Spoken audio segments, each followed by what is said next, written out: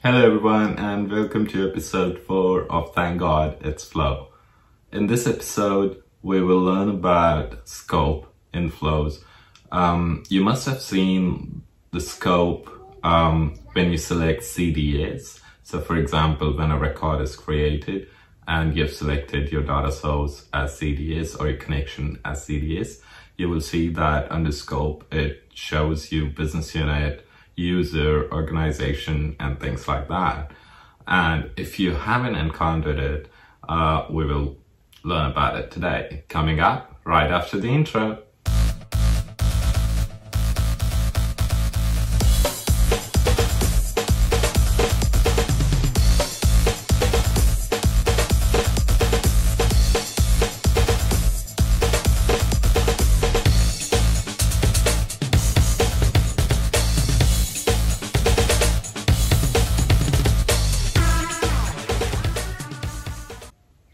Let's start it. So, uh, what we're going to understand is scope in flows, and this is in context to Common Data Services or CDS.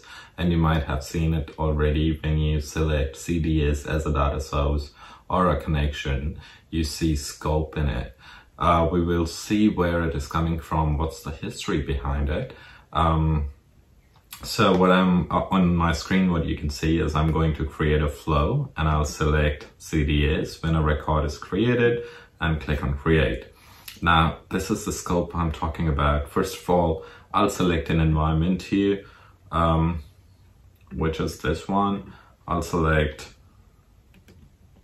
accounts and then you have got these scopes, right? So you've got business unit, organization, parent-child business unit, and user. Uh, now this is not in sequence, it's just alphabetical order. So it's not like you have to do it one by one or whatever. Um, then you've got enter custom value. So you can actually enter none as well um, as custom value and it should work. Um, now the irony is this is all coming from Dynamics 365. That's where in native workflows we use to define scope of a workflow, native workflow of Dynamics 365 as one of these. That's what we used to do. Now it's coming here in CDS flows, while if you go to a flow where you select Dynamics 365, you don't have scope option there, right? So I'll close that. I was just trying to show it that it's not there. It's only in CDS leave the page. Now, if I click on this information button here, you can see it triggers a flow when an object is created in Dynamics 365. You can click on learn more and go to docs.microsoft.com and read more about it. But scope is a required field here. If somebody is new to flows, uh, they'll not understand what we are talking about because they have not seen scope if I go to CDS, so this is my CDS, I go to entities, I don't know what, what you're talking about in terms of um, scope. So let's look at the history where it is coming from. As I said, from Dynamics 365 and the native workflows, we used to have something called scope. Now, scope in Dynamics 365, it defines or drives both of these things, security roles and business units, right? So you have business units and then you define security roles. So basically, whatever you define in your security role, that drives how people can access or what they can access, what, what they cannot access. It's by that. So I'll quickly open, so you can see business units, you can see security roles. I'll quickly open one of the security roles here. Now, this is, don't get confused, there are too many bubbles, I know, but um, what you see here is scope. So you see the key, user, business unit, parent-child business unit, and organization, that's there. So what it means, if, so you see this action card, this means that the user can create an action card because it's under create column for themselves and not anybody else, right? Similarly, read and where you see it completely green, it means organization, so they can read accounts of entire organization. Now you might still not be clear what's organization, what's user, and what's business unit. So we will talk about that and that's how I'm going to explain it to you. But just now I thought it would be good if I can show you the native workflow screens here. So if I click on new, right, um, I'll just do it here, category workflow, entity account, and I click OK. Once I click OK, I'll have to define the scope of this workflow.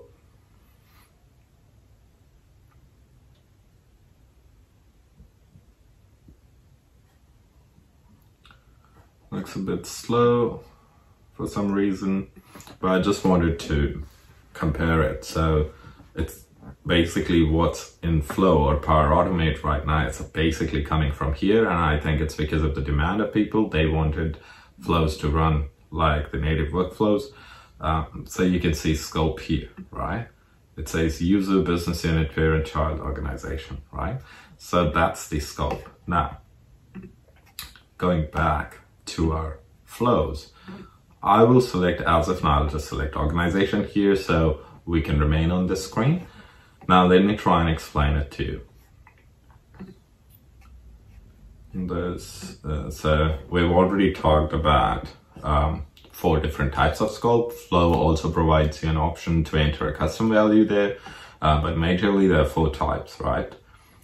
Now, we will try and understand it. So I have tried to create uh, an organization um, or org structure here. So DIY D365 Limited is the head office, right? So that's my um, parent business unit or um, yeah, so that's the head office, that's the base. And then we've got two locations in two different countries. One is Australia and the second one is New Zealand.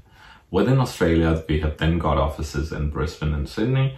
Within New Zealand, we have got offices in Auckland and Wellington, right? So I tried to explain the structure of the organization here. Now, if it is not clear, I'll move on to next screen. See, so it's the exact same thing, different color, but what you see here, everything in here is called an organization. So what it means is if you select scope as organization within your flow, that flow is going to run for entire organization. What you also see here on the screen is uh, the different users. So users within a business unit. That's why. So all these blue blocks are actually business units. Some are parent, some are child, some are independent, but within them, there are some user settings. So basically, let's just assume that top management sits in the business unit, DIY D365, then Australian management team is under Australia and New Zealand management team is under New Zealand, while salespeople are in Brisbane and Sydney, right? Similarly, Auckland and Wellington, we have got salespeople sitting in these business units. But this completely is an organization. So if you create a flow and set the scope, to organization, it will run for each and every one uh, slash each and every user in this organization, right?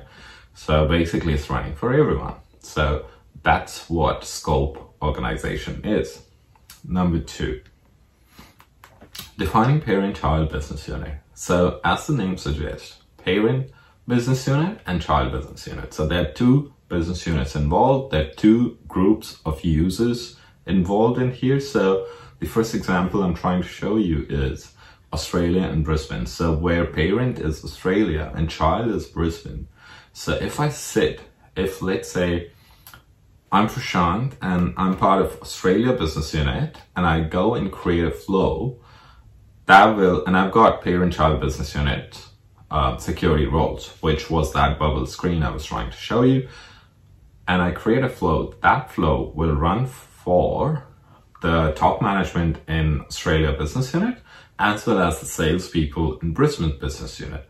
So that that's your parent child. So it runs for the parent as well as the child below it. Remember this, that uh, parent child will always start from level two, where level two, I'm saying Australia and New Zealand. Level one is DIY D365. Now, why not DIY D365? Because if you do a parent-child at DIY D365 level, it basically means organization anyway, because you're covering everything below it. So that becomes organization. So that's why it's always better to have parent-child business unit, um, security roles or privileges below level one, right?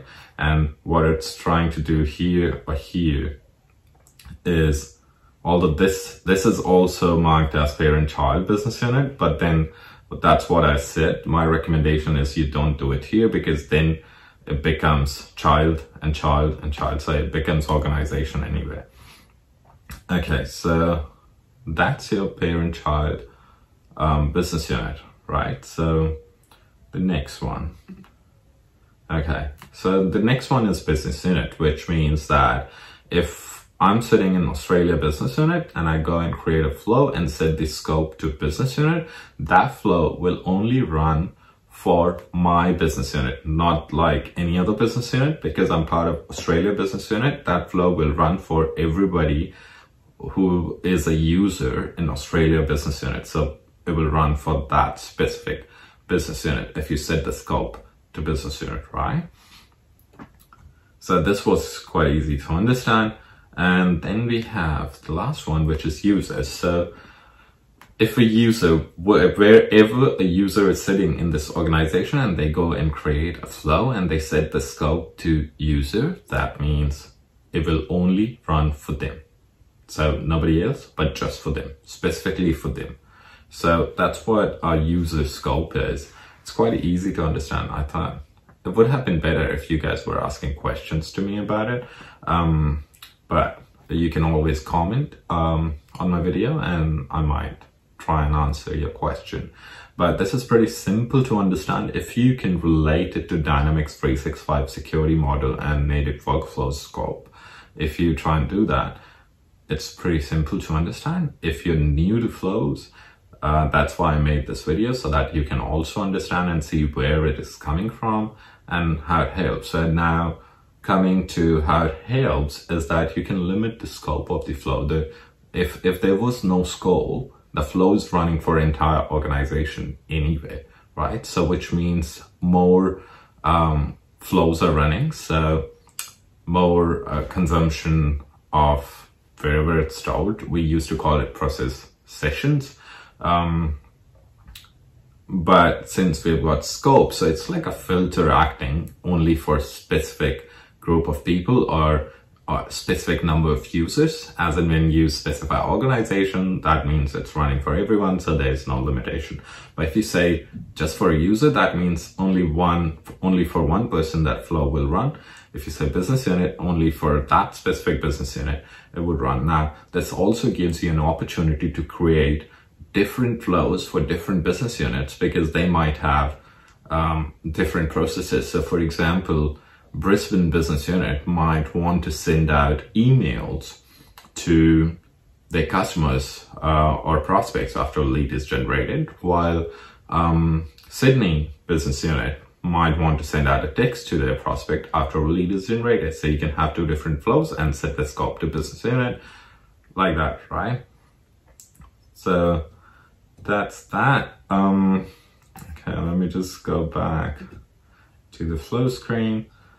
So if you want to learn more, let's quickly click on it and learn more about it. It clearly says common data service uh, is available in the following products and regions. Um, there was a line here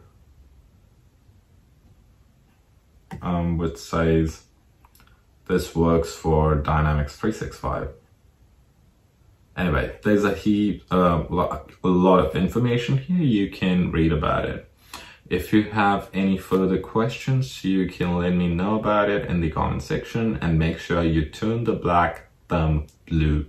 Um, that gives me some visibility. So thank you so much for watching the video. Have a great day, guys. Thank you.